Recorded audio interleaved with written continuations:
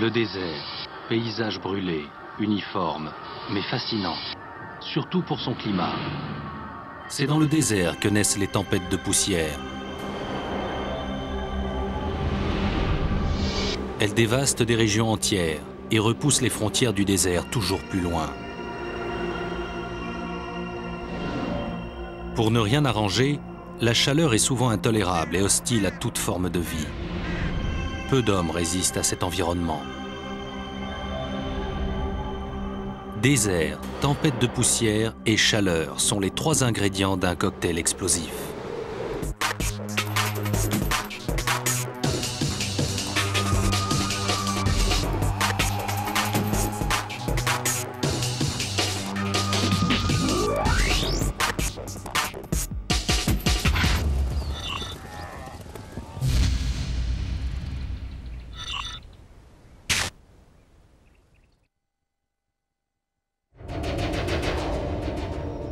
Les tempêtes de poussière se forment dans les coins les plus arides du désert et malmènent la planète entière.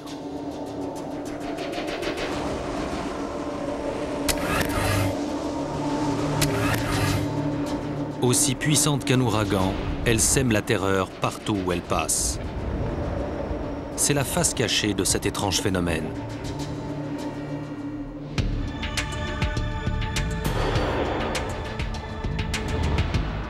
Ces tempêtes ravagent l'écosystème.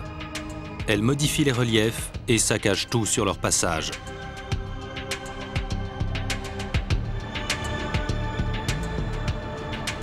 Elles engendrent de gigantesques nuages de poussière qui, lorsqu'ils ne décapent pas la carrosserie des voitures, peuvent s'infiltrer dans les poumons et causer d'irréparables dégâts.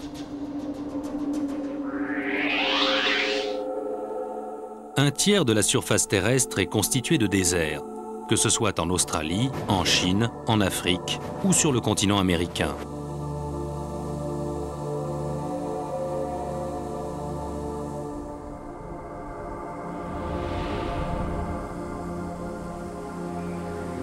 Maltraités par l'homme qui les surexploite, certains territoires souffrent aujourd'hui de désertification.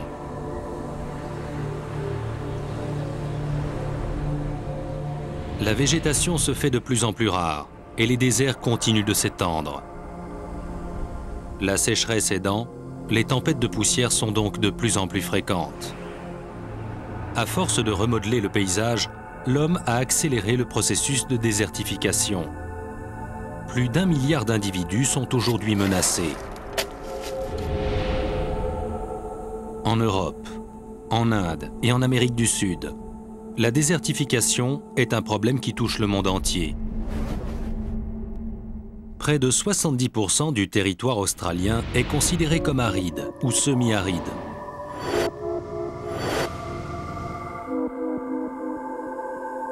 Pas une ville australienne n'échappe aux tempêtes de poussière en provenance de l'outback. La désertification menace aujourd'hui l'environnement et l'économie.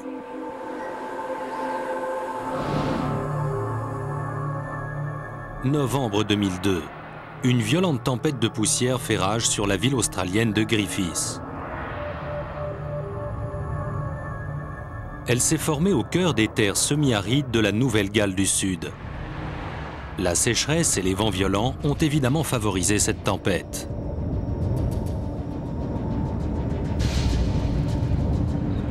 Elle durera deux heures, soufflant sans relâche à près de 72 km/h.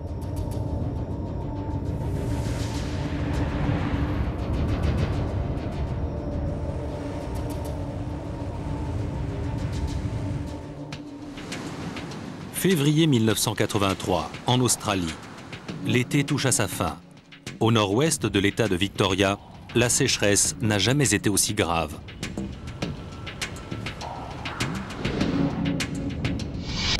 Un front sec et froid traverse Victoria. Puis c'est un vent du nord chaud qui se met à souffler. Le vent fait s'envoler la terre. Un gros nuage de poussière se forme, bientôt confronté à la masse d'air froid.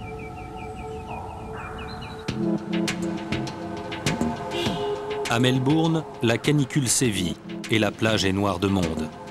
En ce début d'après-midi, le thermomètre vient de franchir la barre des 43 degrés. Un record pour le mois de février. Soudain, un inquiétant nuage noir envahit le ciel de la ville.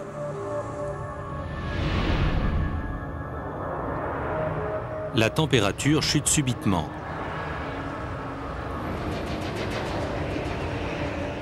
Le vent se met à souffler en rafales. Des arbres tombent et une cinquantaine de maisons voient leur toit arraché. La visibilité est réduite. Le soleil a brusquement cédé sa place à un brouillard opaque. Au plus fort de la tempête, c'est l'État entier qui se trouve menacé par le nuage de poussière.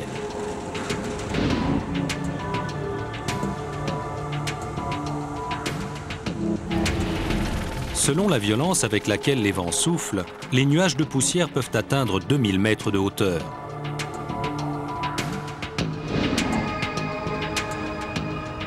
La tempête, partie de l'Outback, aura soulevé plus d'un million de tonnes de terre meuble.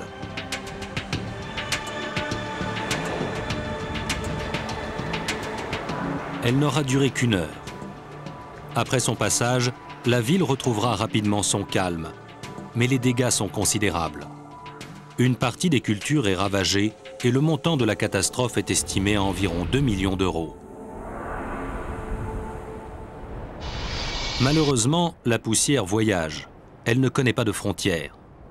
Aucun océan, aucun continent ne saurait lui barrer la route. Sur le continent africain, les vents peuvent soulever la poussière jusqu'à 6000 mètres de haut. Une fois la poussière en l'air, les vents d'Est prennent la relève. Ces nuages orangés nous permettent de suivre la progression de la tempête, depuis l'Afrique jusqu'aux Caraïbes et les Amériques. Une tempête de ce type met environ une semaine à traverser l'Atlantique. Le vent est le dénominateur commun des tempêtes de poussière et de sable. Il y a néanmoins une différence notable entre ces deux types de tempêtes. Une tempête de sable n'est rien d'autre qu'une forte rafale. Contrairement aux nuages de poussière, les nuages de sable plus lourds restent près du sol. Le vent soulève les grains de sable, puis les fait rebondir. C'est le phénomène de saltation le sable se met à danser et à tourbillonner sous l'effet du vent. Lorsque le vent arrête de souffler, les grains de sable retombent.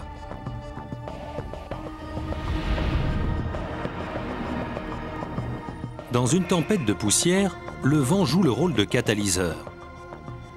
Il fait s'envoler les grains de sable les plus minuscules, à des hauteurs vertigineuses parfois. Entraînés dans les airs, ils entament une longue danse. Les particules de poussière les plus minuscules peuvent s'arrêter, comme en état de suspension. Le ciel prend alors des allures de désert, mais il faut toujours se méfier du sable qui dort. Sable et poussière, toutes ces particules font le délice des vents violents. Chaque année dans le monde, les tempêtes déplacent plus d'un milliard de tonnes de poussière. Malheureusement, elles entraînent souvent dans leur sillon dégâts matériels et maladies. Déchets toxiques, polluants, pesticides, insectes, bactéries, virus. La liste est longue. Les microbes sont généralement aux premières loges. Ils s'insinuent dans les moindres recoins des grains de poussière. Une fois au chaud, ils entreprennent leur tour du monde à semer la terreur sur d'autres continents. Ainsi, le continent nord-américain est régulièrement assailli par des microbes originaires d'Afrique.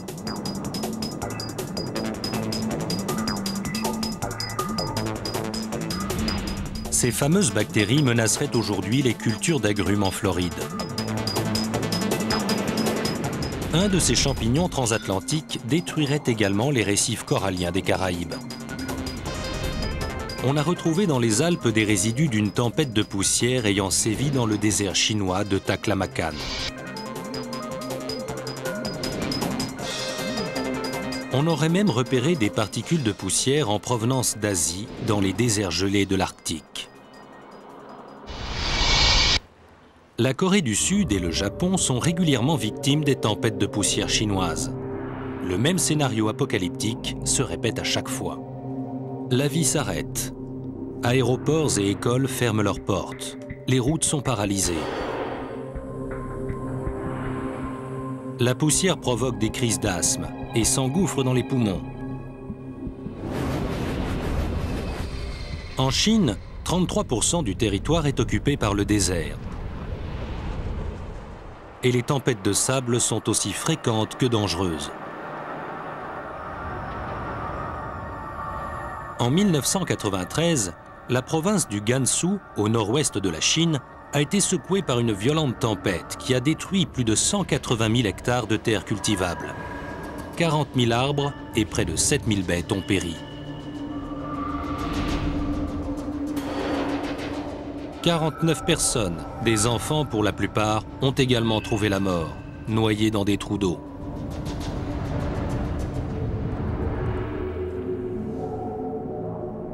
Les tempêtes de poussière sont meurtrières. De nombreux conducteurs, aveuglés par l'opacité des nuages, trouvent la mort au volant.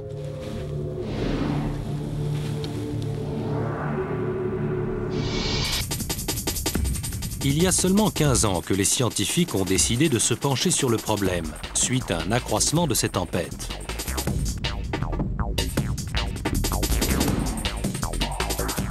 À la surprise générale, ils ont découvert que ces nuages de poussière étaient loin d'être inoffensifs. Dès lors, les tempêtes de poussière sont devenues leur cheval de bataille. Et la science est entrée en action dans des endroits que l'on pourrait qualifier d'improbables. Pour certains scientifiques, les recherches ont commencé sur le mât d'un bateau perdu au beau milieu de l'Atlantique. Pour d'autres, les recherches se sont concentrées sur les poussières qui sont tombées sur les Caraïbes. Les scientifiques ont longtemps cru que les rayons ultraviolets du Soleil suffisaient à détruire les virus et les bactéries mais ils se sont finalement aperçus que le dessus des nuages de poussière constituait un bouclier qui protégeait les microbes. Des chercheurs américains avancent une théorie controversée. Selon eux, c'est par voie aérienne que la fièvre afteuse se serait propagée en Angleterre, où elle a décimé de nombreux bovins. En février 2001, une gigantesque tempête de poussière a secoué le Sahara.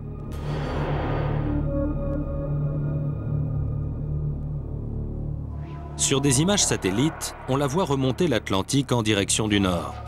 Deux jours plus tard, une pellicule de poussière recouvrait tout le Royaume-Uni. En moins d'une semaine, les agriculteurs anglais ont vu leurs efforts réduits à néant. Plus de 6 millions de bovins et de moutons ont dû être abattus.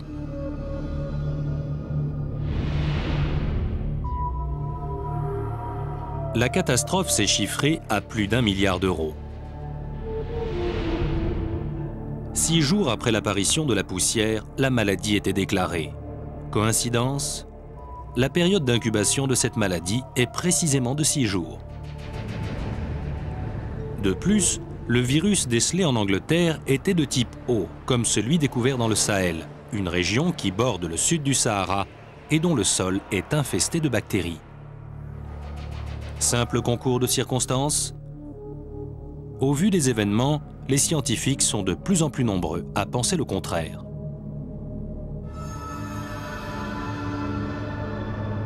C'est une théorie alarmante, car dans cette logique, un nuage de poussière chargé d'anthrax deviendrait une arme de destruction massive. Une simple tempête pourrait créer autant de ravages qu'une bombe le désert et son climat constituent une réelle menace pour l'homme. La preuve de cette théorie a peut-être été trouvée en Floride et dans les Caraïbes, où l'on recense de plus en plus d'allergies et de maladies des poumons. À la Barbade, les problèmes d'asthme se sont multipliés par 17. Méningite, conjonctivite et troubles respiratoires sont tous liés aux tempêtes de sable. Certaines particules sont à peine visibles, Sept grains de poussière mis côte à côte font la largeur d'un cheveu. Une fois ingérée, la poussière se dépose dans les poumons. Soit elle y reste, soit elle se mélange au sang. La poussière frappe tout le monde. Nous sommes tous des victimes potentielles, mais pour ceux qui vivent dans le désert, le risque est plus grand encore. En espagnol, Las Vegas signifie les prairies. Et c'est vrai que la ville a toujours été une oasis de verdure, tant pour les chercheurs d'or que pour les touristes. Logé entre les dunes de sable, Las Vegas vit au rythme cuisant du désert. Côté climat, la capitale du jeu est servie. En hiver et au printemps, Las Vegas ne subit pas moins de 8 tempêtes de poussière. Il arrive que le centre-ville et les aéroports soient entièrement paralysés. La ville est en pleine expansion, mais à force d'empiéter sur le désert pour accueillir les nouveaux arrivants, le sable est de plus en plus dispersé.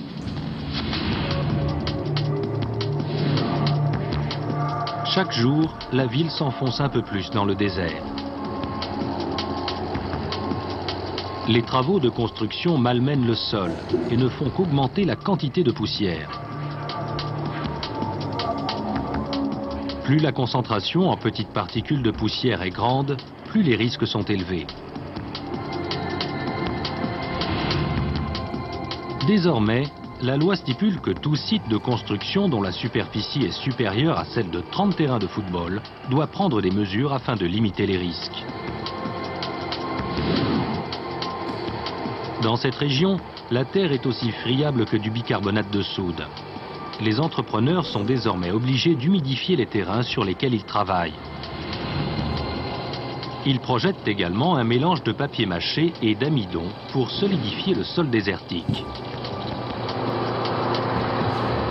Las Vegas est en voie de guérison. La quantité de poussière dans la ville a été réduite de moitié.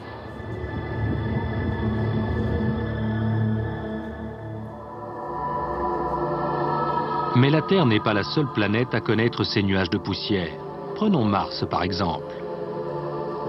La surface de la planète rouge est la plus poussiéreuse de tout le système solaire. Sur Mars, les tempêtes de poussière peuvent affecter l'intégralité de la planète. Mars est également victime de Dust Devils, ou tourbillons de poussière. Et voici la version terrestre. On dirait une tornade. Mais sur Mars, certains tourbillons sont aussi hauts que les montagnes de l'Himalaya. Après s'être demandé si ces tourbillons n'étaient pas à l'origine des tempêtes de poussière sur Mars, les scientifiques ont cherché un lien entre les tourbillons et les tempêtes de poussière terrestre. Pour qu'un tourbillon de poussière se déclenche dans le désert, il suffit que le ciel soit dégagé, qu'il y ait une légère brise et qu'il fasse chaud. Ces tourbillons peuvent atteindre 1000 mètres de haut et durent généralement deux minutes.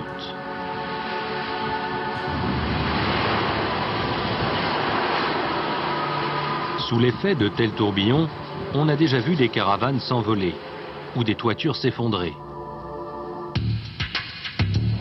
Juillet et ses records de chaleur. Trois scientifiques poursuivent leurs recherches.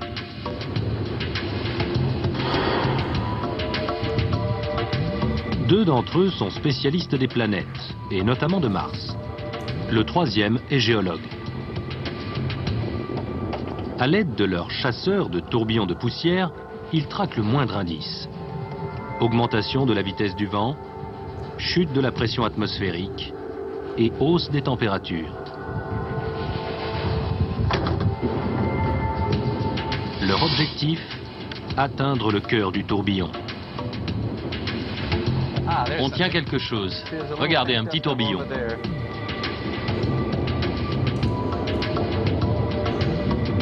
Qu'ils soient terrestres ou martiens, les tourbillons de poussière fonctionnent de manière identique. Les résultats de ces recherches pourraient donc s'avérer utiles. Mais comment les tourbillons de poussière se forment-ils? Ils partent souvent de zones frontalières entre déserts de sable et de cailloux, où le sol est plus tempéré. Le soleil réchauffe le sol et les masses d'air présentes au-dessus de la surface. Tandis que cet air s'élève lentement, il entame une rotation sur lui-même, entraîné par les vents qui se détournent des montagnes avoisinantes.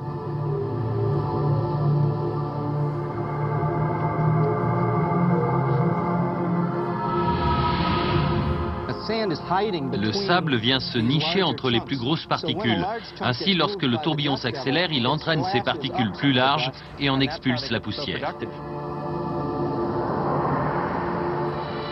Les tourbillons de poussière avalent la poussière comme le ferait un aspirateur géant. C'est parti Tandis que les particules les plus légères tournoient vers le haut, les plus lourdes, comme le sable, sont rejetées vers la base du tourbillon. On va pouvoir entrer dedans.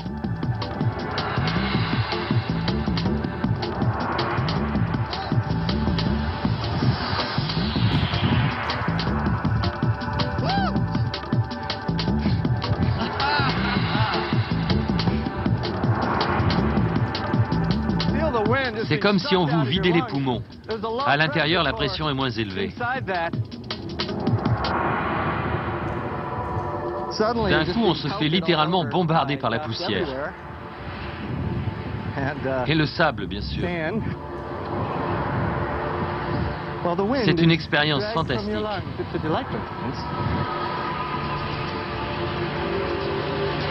Ce tourbillon de poussière puise son énergie dans l'air chaud et instable. C'est grâce à cela qu'il peut progresser au fond de ce lac desséché. Mais une fois que le vent et l'air environnant s'emparent du tourbillon, il s'évanouit.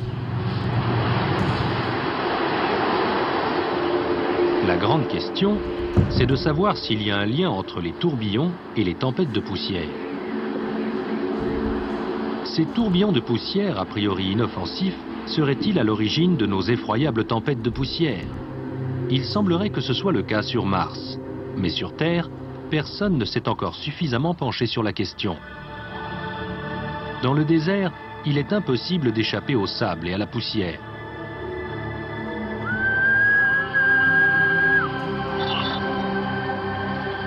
Des hommes et des femmes continuent néanmoins d'y élire domicile. La vie dans le désert prend parfois des allures de survie. Le mode de vie des autochtones n'a rien à voir avec celui des touristes. Pour les personnes qui ne sont pas habituées à ces conditions climatiques extrêmes, la chaleur est un obstacle qu'il faut apprendre à surmonter.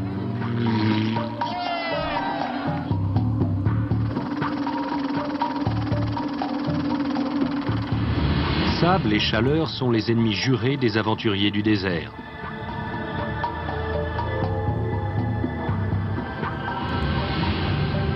Le sable agit comme un fouet c'est une expérience douloureuse pour le corps humain. Il réduit également le champ de vision.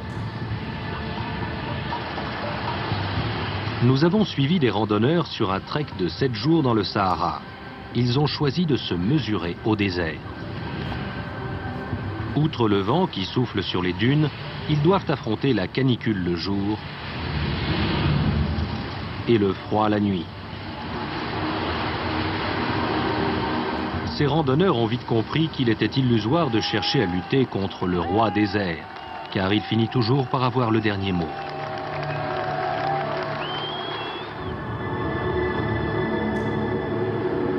Dans le désert, la température peut atteindre 57 degrés en journée. Comment le corps humain fait-il pour résister à cette fournaise?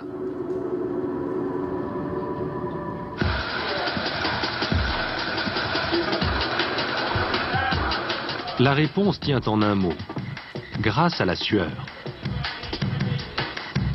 Sans elle, le corps humain se dessécherait.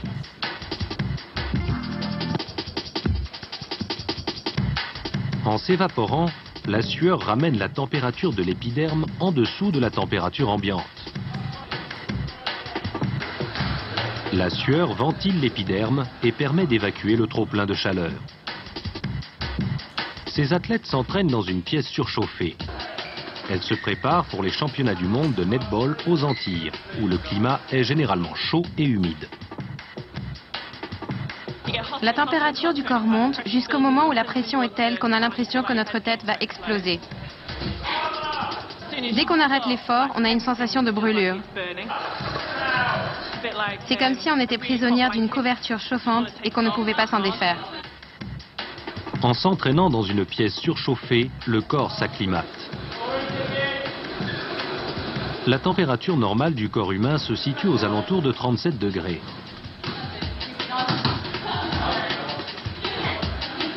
Mais en travaillant dans ces conditions, ces athlètes font monter la température de leur corps. Il est indispensable de les surveiller de très près. Comme ils ne ressentent pas toujours ce changement de température, ils doivent rester extrêmement vigilants.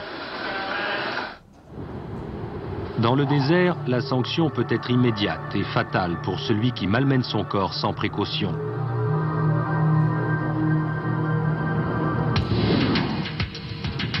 Ces sportifs viennent d'effectuer la traversée du désert du Qatar. Ils ont attentivement surveillé leur température, car ils ont parcouru près de 200 km en seulement trois jours.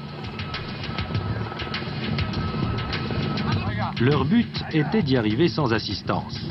Ils sont donc partis avec plus de 300 kg de provisions, dont 85% d'eau. Avant le trek, ils se sont également entraînés dans des salles surchauffées. Leur transpiration est devenue si efficace qu'il leur a fallu boire presque un litre d'eau par heure.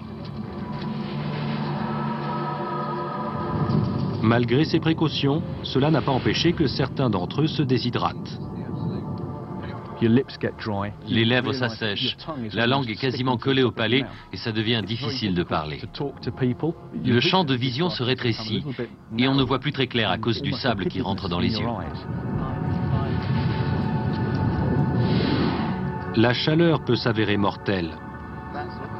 Si la température du corps franchit les 42 degrés, on peut malheureusement mourir assez rapidement. Accablé par la chaleur, le chef de cette expédition a souffert d'épuisement. C'était bizarre car il ne nous entendait plus. Il s'est mis à tituber et il avait du mal à tenir debout. Ensuite, il s'est dirigé vers l'eau, puis il a dit qu'il n'aimait pas ça. Soudain, il s'est arrêté de transpirer et sa température est montée en flèche. Ses yeux se sont refermés et il s'est mis à divaguer et à trembler.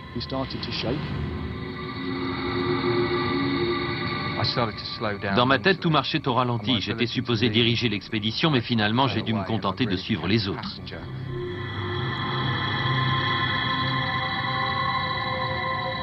C'est comme si mon cerveau s'était mis en veille. Le reste de l'équipe est naturellement intervenu et le chef d'expédition a pu être secouru. Mais tout le monde n'a pas cette chance. Le Nevada se trouve au beau milieu de la zone la plus aride d'Amérique du Nord. L'endroit est réputé. C'est la vallée de la mort et ses chaleurs accablantes. Il fait plus de 51 degrés. Je vais aller me mettre au frais. Le paysage est brûlé et inanimé. La vallée de la mort doit son nom aux pionniers qui l'ont découverte en cherchant un raccourci pour atteindre les gisements d'or de la Californie.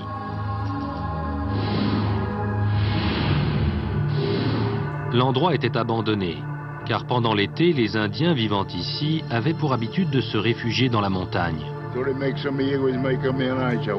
Aujourd'hui, grâce à l'air conditionné, la chaleur n'est plus un problème. Ils ne sont plus qu'une cinquantaine dans la tribu à pouvoir survivre en plein désert.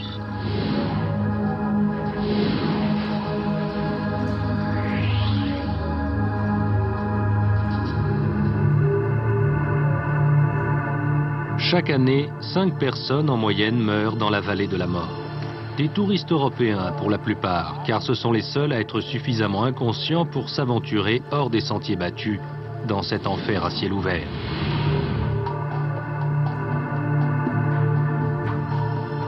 La chaleur vous saute au visage. C'est comme si on vous mettait la tête dans un poêle à charbon. Ici, la chaleur et l'air vous empêchent de respirer.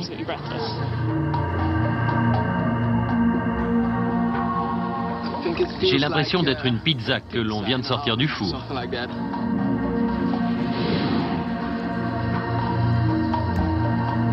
La vallée de la mort est la région la plus basse de l'hémisphère ouest.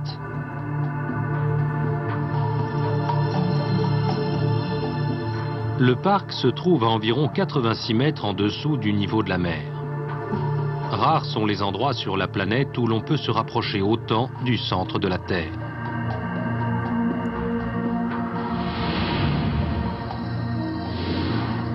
La vallée de la mort est une cuvette coincée entre les montagnes. Elle emmagasine la chaleur sans jamais l'évacuer. Au printemps et à l'automne, la chaleur est supportable, mais en juillet, c'est une vraie fournaise. La vallée de la mort est l'un des endroits les plus chauds au monde. Les températures atteignent des sommets, le record étant de 56 degrés.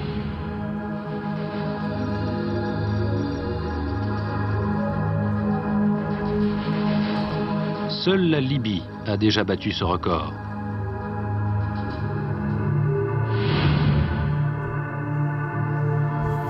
Sans air conditionné, il est quasiment impossible de survivre dans la vallée de la mort en plein été. Une personne qui se trouverait sans protection solaire et sans eau ne survivrait pas plus de 4 heures.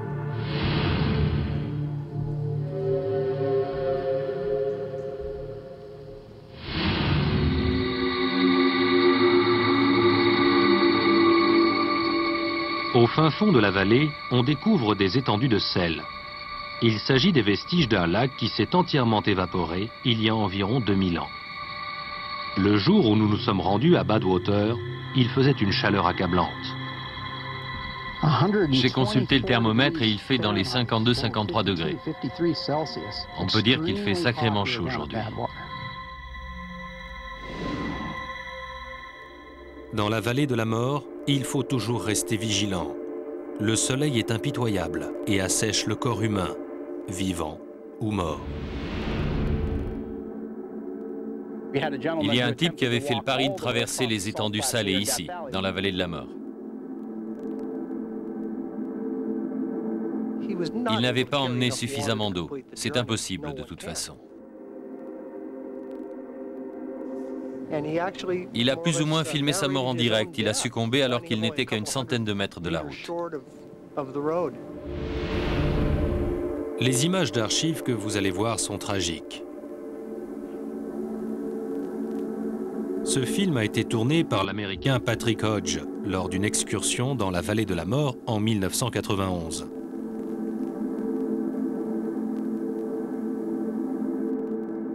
Ce jour-là, l'objectif de Hodge est de faire l'aller-retour entre Badwater et le fond de la vallée.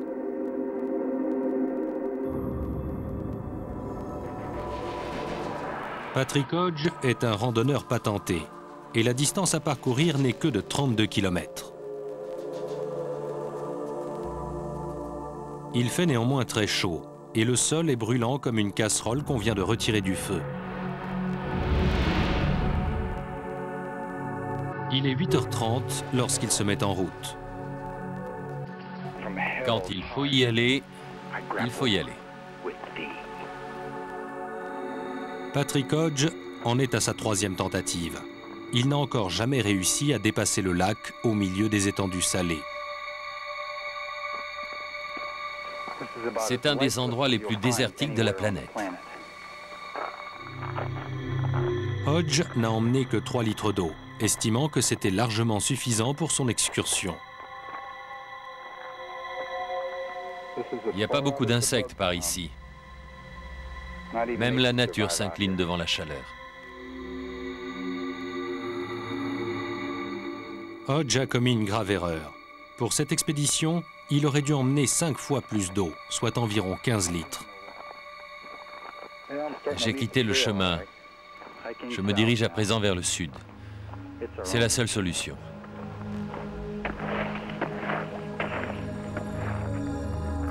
Dans la boue, il perd encore plus d'énergie. C'était pas une très bonne idée de passer par là, mais le pire est derrière moi. Il n'est pas encore midi lorsqu'Hodge atteint l'extrémité de la vallée. J'ai enfin atteint la route. Mon expédition touche à sa fin.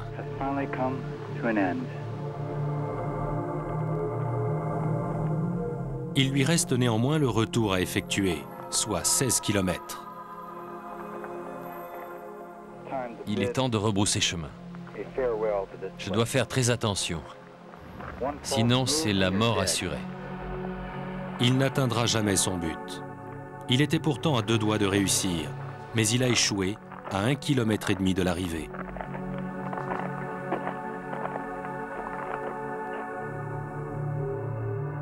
À 41 ans, Patrick Hodge était un homme en pleine santé. Il pesait dans les 70 kilos.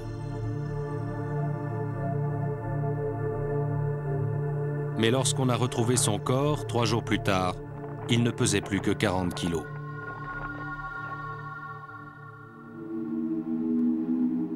Les types qui sont allés récupérer le corps m'ont raconté qu'avec la chaleur, la sécheresse de l'air et le sel, le corps avait durci. En le soulevant, ils ont entendu les os s'entrechoquer à l'intérieur. En trois jours seulement, son corps s'était momifié.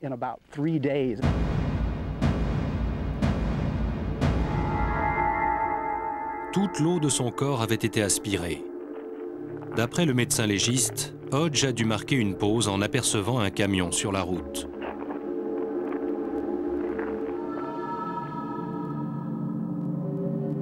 Mais la chaleur ayant pompé toute l'eau de son corps, son sang a dû épaissir, empêchant ainsi le cœur de communiquer avec le cerveau. Il se serait ensuite évanoui, puis il serait tombé.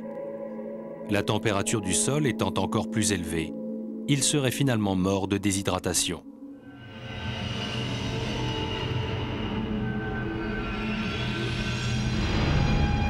Difficile de vaincre le désert les tempêtes de poussière sont des baromètres.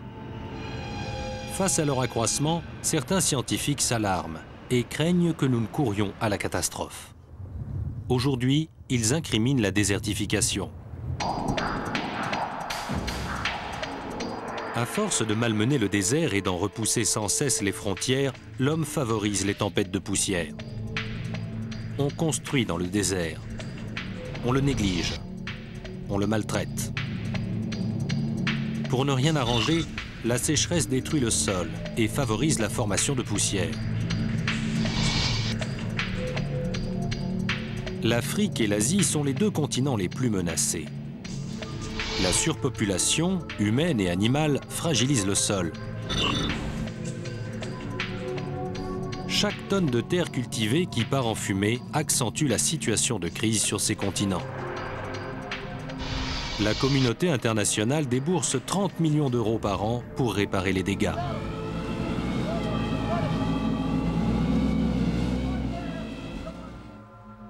La Chine doit aujourd'hui trouver une solution. Le désert occupe déjà un tiers du pays et Pékin a pratiquement les pieds dans le sable.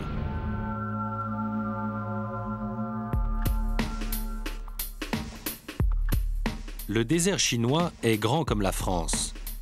La Chine s'est donné 10 ans pour en faire un espace vert en replantant de nouvelles prairies et des forêts. Il faut empêcher le désert de s'étendre davantage, sinon le pays pourrait bien être entièrement balayé par une tempête de poussière.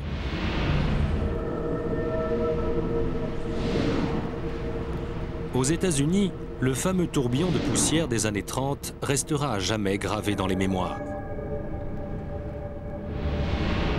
de puissantes tempêtes de poussière ont tout emporté sur leur passage,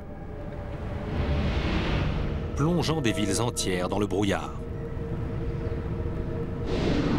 On recense 14 tempêtes pour l'année 1932 et pas moins de 38 l'année suivante. Labourage intensif et sécheresse sont à l'origine de cette catastrophe les champs, abondants par le passé, se sont transformés en immenses terrains vagues. Les fermiers n'ont rien pu faire pour empêcher les cultures de s'envoler. Une grande partie de la population s'est mise à cracher de la poussière.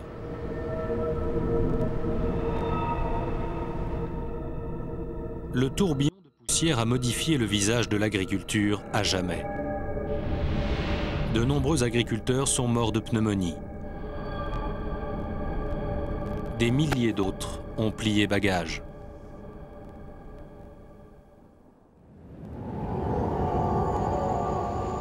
Les tempêtes de poussière sont souvent une réponse de la nature aux changements que nous lui infligeons. Prenons par exemple le lac Tchad, en Afrique. Avant que l'on ne puise son eau pour irriguer les terres environnantes, c'était l'un des six plus grands lacs du monde. Aujourd'hui, il ne fait plus qu'un dixième de sa taille d'origine. La zone bleue correspond à sa taille actuelle. Le rouge représente la végétation qui a envahi le lac. Les ondulations représentent les dunes de sable. Voici le dernier désert fabriqué par l'homme. Il s'agit de la mer d'Aral, située en Asie centrale. Avant le détournement de ses affluents, c'était le quatrième plus grand lac du monde. Aujourd'hui, les vents qui balayent le fond du lac disséminent sel et sable dans toute la région. Et les bateaux qui naviguaient autrefois à la surface ne sont plus que l'ombre d'eux-mêmes. La mer d'Aral n'est malheureusement pas un cas isolé.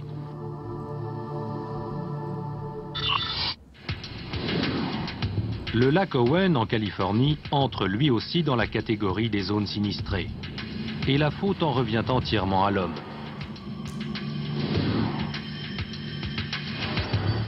Le lac Owen a longtemps été un des plus beaux lacs du monde.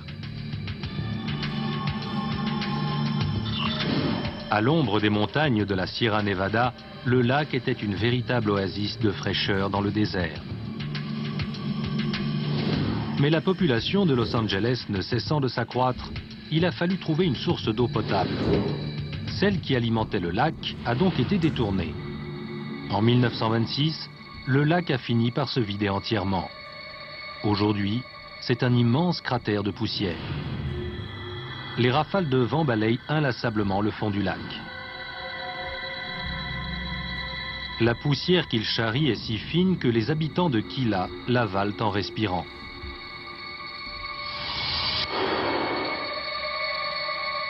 On ne compte plus les tempêtes de poussière par ici.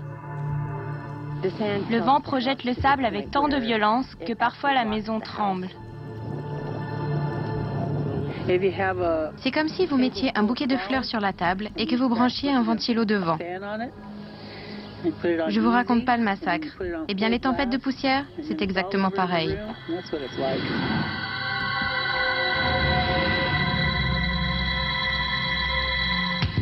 Il y a quelques années, des études ont montré qu'à proximité du lac, la qualité de l'air ne répondait plus aux normes minimales. Incriminée, la ville de Los Angeles a dû trouver une solution pour maîtriser la poussière. On a d'abord proposé de recouvrir le fond du lac avec de vieux pneus de voiture. Mais une solution plus écologique a finalement été adoptée, l'herbe salée.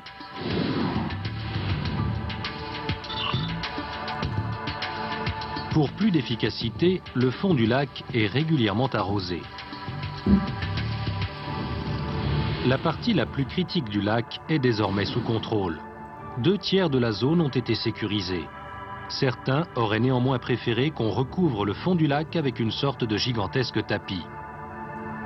Un tapis, ça aurait été une bonne idée. Ça aurait permis de retenir la poussière et en plus, c'est plutôt agréable de marcher dessus.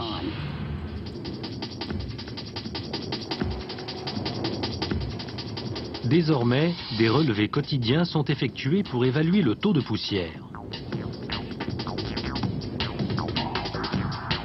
144 capteurs enregistrent la teneur en poussière.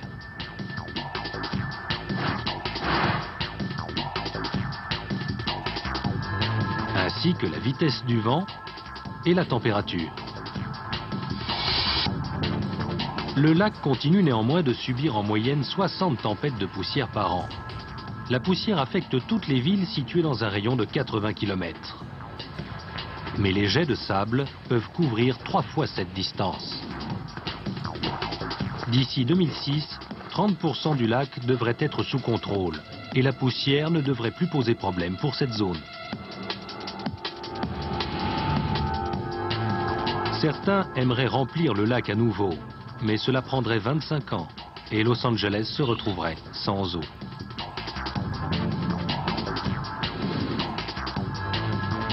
Sur deux ans, 200 millions d'euros ont déjà été dépensés pour les travaux.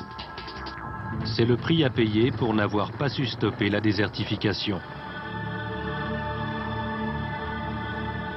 Des scientifiques ont récemment fait une découverte surprenante. La poussière empêche la pluie de tomber.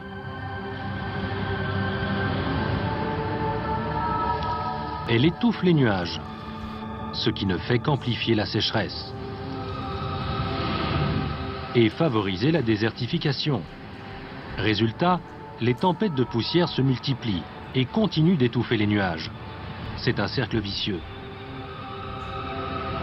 Les sécheresses et les tempêtes de poussière qui sévissent dans les déserts n'augurent rien de bon pour l'avenir de notre planète.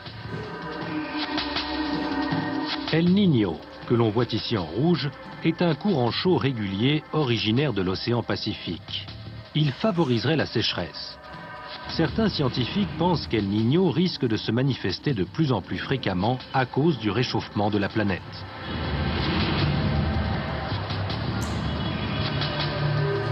Le réchauffement de la planète pourrait bien avoir des conséquences désastreuses.